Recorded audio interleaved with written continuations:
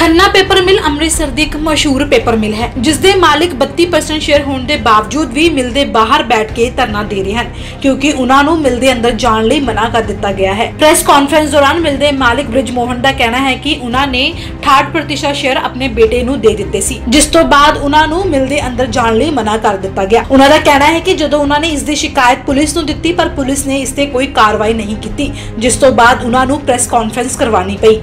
Conference ਮੈਂ ਕੀਤੀ ਮੈਂ ਪੁਲਿਸ 'ਚ ਕੰਪਲੇਂਟ ਕੀਤੀ ਸ਼ੁੱਕਰਵਾਰ ਦੀ। ਅਜੇ ਤੱਕ ਇੱਥੇ ਕੋਈ ਐਕਸ਼ਨ ਨਹੀਂ ਲਿੱਤਾ ਗਿਆ। ਇਹ ਕੰਪਲੇਂਟ ਦੀ ਕਾਪੀ ਮੇਰੇ ਕੋਲ ਹੈਗੀ ਹੈ ਕਿ ਮੈਂ ਤੁਹਾਡੇ ਕੋਲੋਂ ਪ੍ਰੈਸ ਕੋਲੋਂ ਹੈਲਪ ਮੰਗਾ। ਕੰਪਲੇਂਟ ਕਿਸ ਚੀਜ਼ ਦੀ ਕੀਤੀ ਤੁਸੀਂ? ਕੀ ਹੋਇਆ ਜੀ? ਕੰਪਲੇਂਟ ਸ਼ੁੱਕਰਵਾਰ ਦੇ ਦਿਨ ਅਸੀਂ ਪਹਿਲਾਂ ਤੇ ਪਿਛਲੇ 3 ਮਹੀਨੇ ਤੋਂ ਮੈਂ ਸਾਡੀ ਲਿਫਟ ਬੰਦ ਕਰ ਦਿੱਤੀ ਕਿ ਤੁਸੀਂ ਕਹਿੰਦਾ ਇਹ ਬੁੱਢ- ਆਦਮੀ ਹੈ ਉੱਪਰ ਨਾ ਜਾ ਸਕਣ ਸਾਨੂੰ। ਕਹਿੰਦੇ ਜੀ ਤੁਸੀਂ यहाँ ਪੁਰਾਣੇ ਸ਼ੇਅਰ ਦੇ ਦਿਓ। ਜੇ ਫੈਕਟਰੀ ਆਣੀ ਹੈ ਤਾਂ ਸਾਡੇ ਜਿਹੜੇ ਤੁਹਾਡੇ ਕੋਲ ਬਾਕੀ 32% ਸ਼ੇਅਰ ਹੈਗਾ ਇਹ ਸਾਨੂੰ ਦੇ ਦਿਓ। ਅਦਰਵਾਈਜ਼ ਤੁਸੀਂ ਫੈਕਟਰੀ ਨਾ ਆਓ। ਮੈਂ ਕਿਹਾ ਮੈਂ 32% ਦਾ ਮਾਲਕ ਹਾਂ ਤੁਸੀਂ ਮੈਨੂੰ ਕਿਸ ਤਰ੍ਹਾਂ ਰੋਕ ਸਕਦੇ ਹੋ? ਮੈਂ ਫੈਕਟਰੀ ਤੇ ਆਵਾਂਗਾ। ਫੈਕਟਰੀ ਮੇਰੇ ਲਈ ਜਿਸ ਤਰ੍ਹਾਂ ਦੋ ਬੇਟੇ ਨੇ ਉਸੇ ਤਰ੍ਹਾਂ ਇਹ ਫੈਕਟਰੀ ਵੀ ਮੇਰੇ ਲਈ ਇੱਕ ਬੇਟਾ ਜਾਂ ਬੇਟੀ ਸਮਝ ਲਓ ਹੈਗੀ ਹੈ ਮੈਨੂੰ ਪੈਸੇ ਨਹੀਂ ਚਾਹੀਦੇ। ਮੇਰੇ ਕੋਲ ਗੁਜ਼ਾਰੇ ਜੋਗਾ ਆਪਣਾ।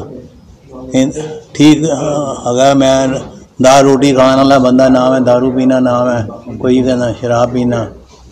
ਰੋਕਣ ਦਾ ਕਾਰਨ ਕੀ ਹੈ? ਮੇਨ ਕਾਰਨ ਕੀ? ਕਾਹਦੇ ਵਾਸਤੇ ਰੋਕੇ ਜਾ ਰਹੇ ਤੇ ਕਿਉਂ ਤੁਹਾਡੇ ਕੋਲ ਤੁਹਾਡਾ ਹੱਕ ਜਿਹੜਾ ਹੋਇਆ ਜਾ ਰਿਹਾ?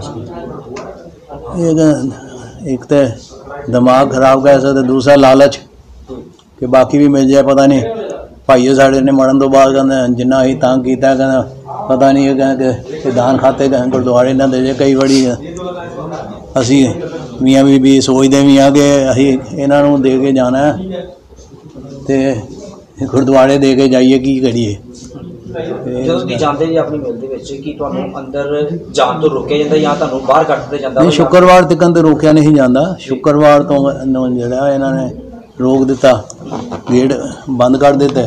ਤੇ ਉਸ ਤੋਂ ਬਾਅਦ ਜਿਹੜਾ ਇਹਨਾਂ ਨੇ ਦਫ਼ਤਰ ਜੇ ਉਹ ਲੌਕ ਕੀਤਾ ਸੀ ਗੇਟ ਉਹਦੇ ਥੱਲੇੋਂ ਦੀ ਐਲਾਨ ਕਮੀਆਂ ਵੀ ਵੀ ਦੋਵੇਂ ਜਿਹੜੇ ਫੈਕਟਰੀ ਦੇ ਅੰਦਰ ਗਏ। ਜਦੋਂ ਸ਼ੁਰੂ ਕੀਤੀ ਸੀ ਫੈਕਟਰੀ ਉਦੋਂ ਕਿੰਨੇ ਨਾਲ ਕੀਤੀ ਸੀ ਤੇ ਹੁਣ ਕਿੰਨੀ ਵਰਤ ਰਹਿੰਦੀ ਹੈ 10000 ਰੁਪਏ ਨਾਲ ਸ਼ੁਰੂ ਕੀਤੀ ਸੀ ਮੈਂ। ਜੀ ਹੁਣ ਕਿਵੇਂ ਵਰਤੇ ਜੀ? 5-7000 ਅੱਛਾ, ਠੀਕ ਹੈ ਸਰ। ਤੇ ਲਗਭਗ 20 ਲੱਖ ਦਾ ਮਹੀਨਾ। ਤੇ ਹੁਣ ਕਦੋਂ ਤੋਂ ਬੰਦ ਕੀਤਾ ਹੈ? ਹੋ ਗਿਆ।